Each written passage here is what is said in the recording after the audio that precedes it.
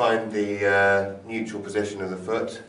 So move the foot around, palpate the head until you find neutral, so you have a rough idea of where it will, where it will be when you're doing the, uh, the cast.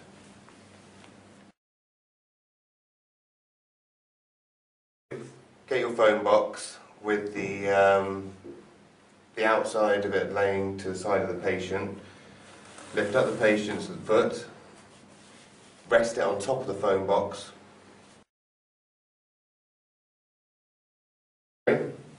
Find that neutral position again.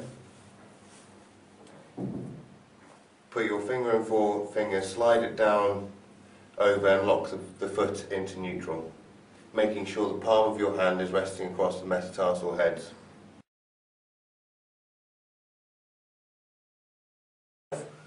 Bring your arm round, place it on the patient's knee, making sure your hand's still locked in a neutral position.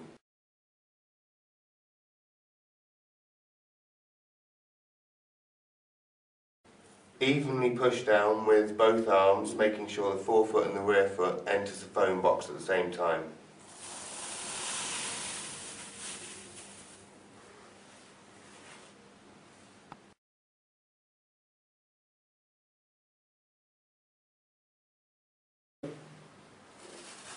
Push the toes into the foam box so that if you're doing a full length TCI device we can gauge how long the device needs to be.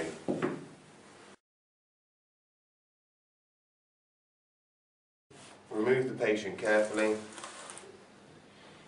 and prepare to do the second foot.